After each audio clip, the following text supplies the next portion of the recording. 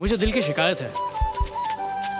मेरी धड़कनें किसी और के लिए धड़कती हैं। कभी उसे देख के कभी उसके बारे में सोच के कभी कभी तो बेवजह ही थम जाती है। इस कंडीशन को हार्ट एरिथमिया कहते हैं। क्या ये खतरनाक बीमारी है? Yes, of course it is.